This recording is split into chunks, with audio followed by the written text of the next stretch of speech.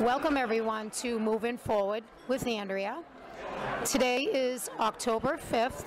I am in Davio's wonderful restaurant in Foxborough, Massachusetts, with the beautiful Marie Catherine, former Miss Rhode Island International of 2011.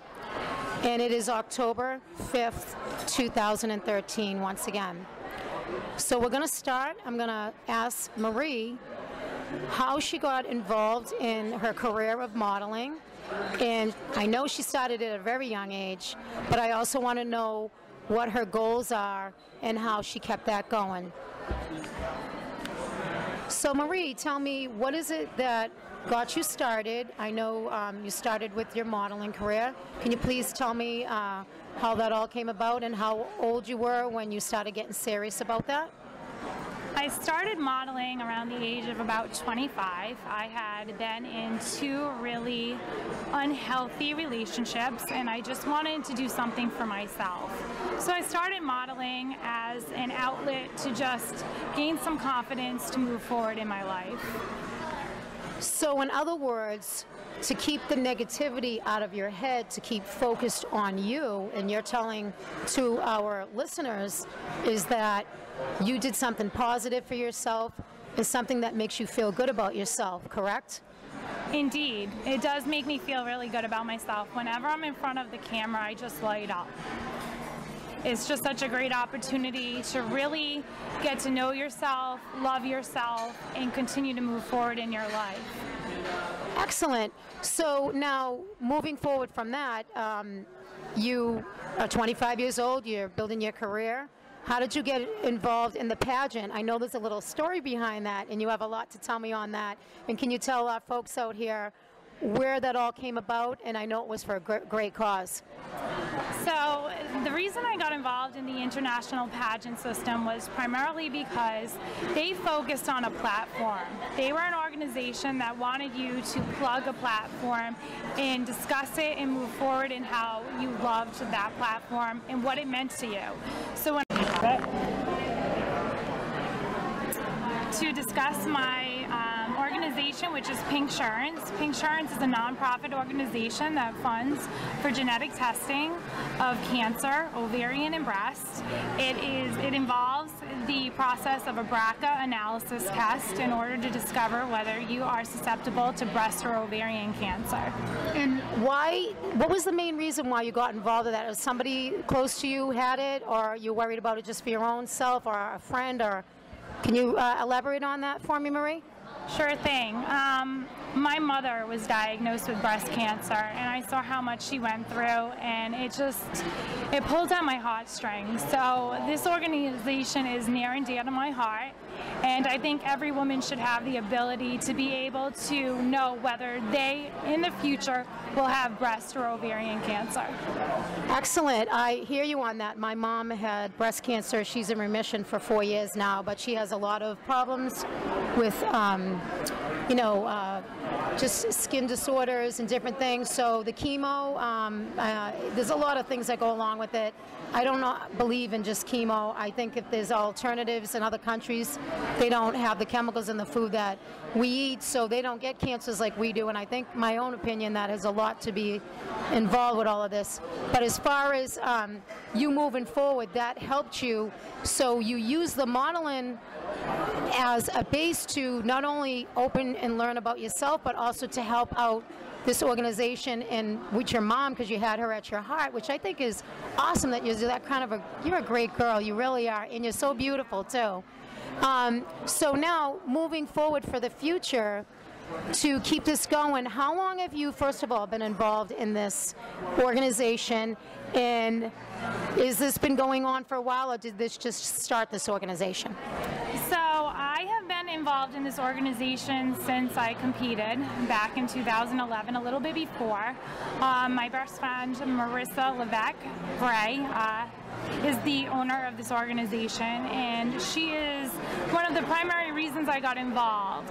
I wanted to have a great platform to show people that it isn't just breast cancer awareness. This is breast cancer awareness in the sense that it's something that everyone is affected by. Yes, and, and not just we're affected by, but obviously, you know as well as I do, there's so many people around us. Even in this restaurant we're in right now, there's probably people that have gone through it or know people that they know are suffering. And it's not just women, folks. Men get breast cancer. Uh, a lot of you guys I know don't really think that, but um, that's a fact. Just so you know, it's something that it's not just for women. It is, you know, worldwide, and it is whether you're a man or woman. So um, this has been around since 2011 that your friend started it? Yes. Yes, it has. It's been around before then, but it really started picking up momentum in 2011. Um, initially, I just started as a platform for my competition with Miss International, and from there, my friend asked me to be on the board, and now I currently am the marketing director for Pinksurance. Well, I'll have to um, put something together and we'll have to work on something special for you ladies because you're all wonderful. I think you're all great, and I met quite a few of them since uh, before this interview. They're all friending me, and, and you, you girls are wonderful. I'm really, really appreciate what you're doing. I think this test that they do is very important. Um, but besides that, I want to get more into you. You um, did the modeling, you did the Miss International. Uh, are your futures in heart and soul still in modeling, or did you want to venture up in something else, and why?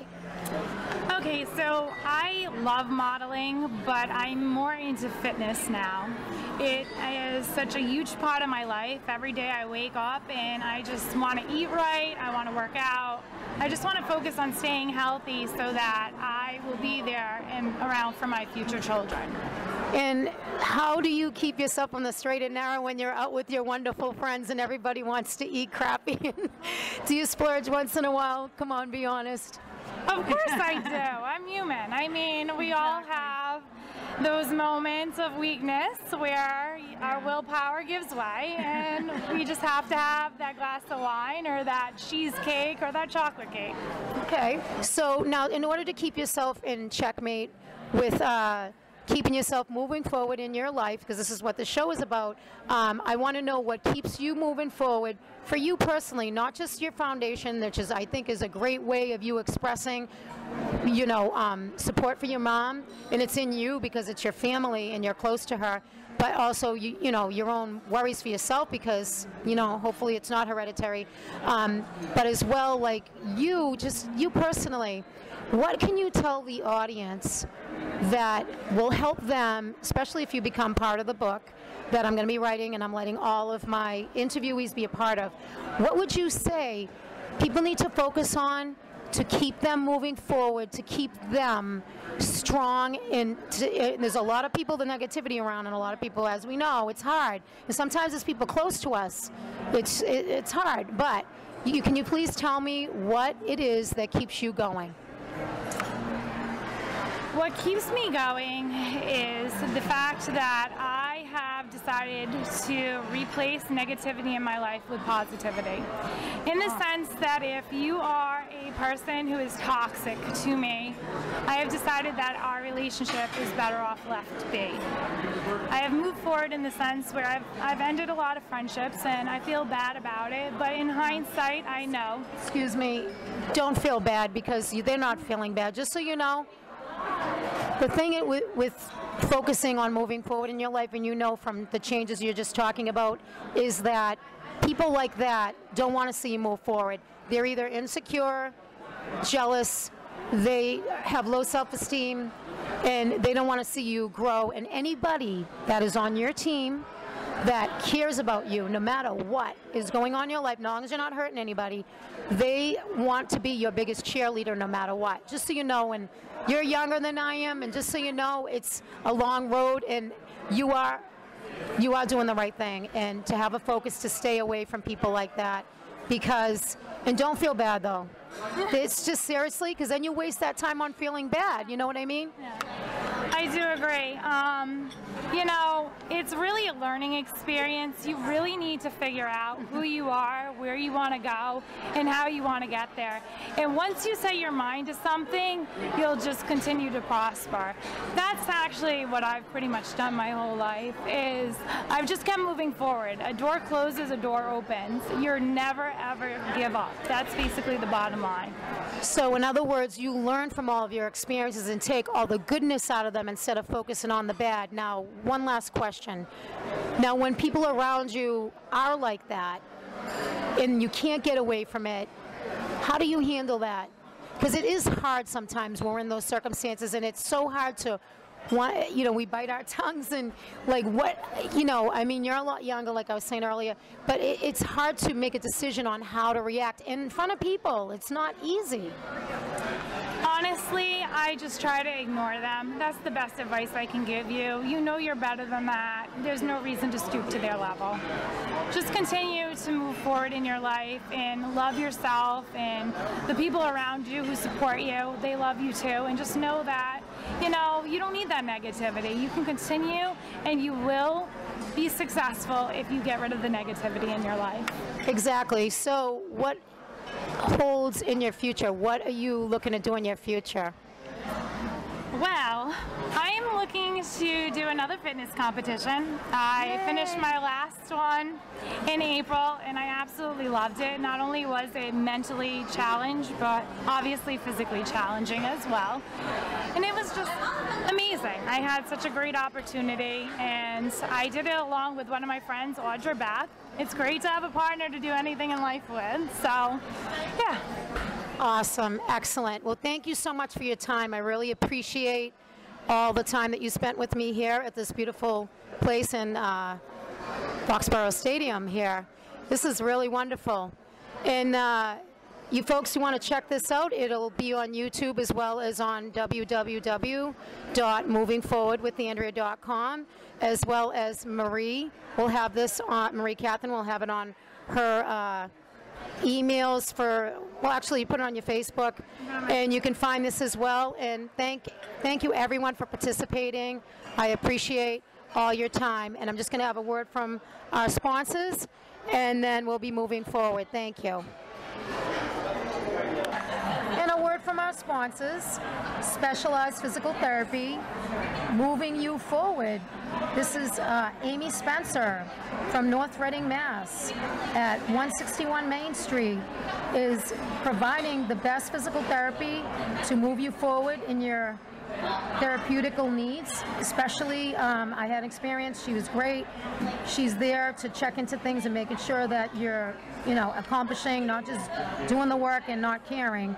So if you want all of your physical therapy needs, talk to Amy. She is the owner and the physical therapist there at North Reading. You can reach her at 978 664 4008 and check out her website at www.specializedmiddle/pt.com. Thank you.